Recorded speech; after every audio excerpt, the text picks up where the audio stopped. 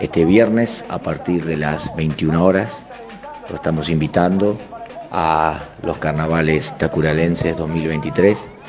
que se van a estar desarrollando sobre Avenida 9 de Julio,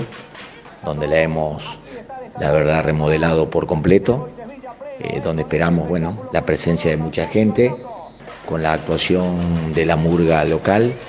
que nos sorprendió porque, bueno, tiene más de 60 integrantes, eh, con la batucada, luego Fantasía de Colores, que es una comparsa de Colonia Vicha con 45 integrantes, y como cierre de la presentación de comparsa va a estar Iruya de la ciudad de Sunchales. Eh, para bailar toda la noche con Gustavo Boglione de la provincia de Córdoba, con todo lo que es cumbia, y eh, cumbia morena de la ciudad de Rafaela. La entrada es libre y gratuita. La cantina, como todos los años, eh, nosotros la destinamos a distintas instituciones.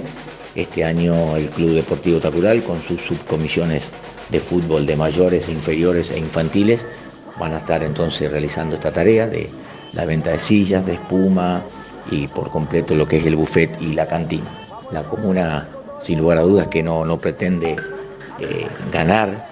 recursos económicos, pero bueno, eh, lo que sí queremos brindar es una linda fiesta, por eso también, bueno, lo que es todo lo que es animación y locución va a estar a cargo de Julio Barovero, que ya todos lo conocen, todos los años ya es una costumbre que nos visite. Así que bueno, reiteramos, a partir de las 21, 21 30 horas, sobre el corsódromo de Avenida 9 de Julio, vamos a estar disfrutando este viernes, que por lo que uno está analizando los pronósticos, eh, por lo menos marcan una tarde-noche templada y, y calurosa. Así que bueno, esperemos que se desarrolle de la mejor manera posible porque es un sello ya de distinción de nuestra, de nuestra gestión que lo habíamos comenzado hace muchos años y bueno, este año seguramente va a ser un éxito como, como siempre.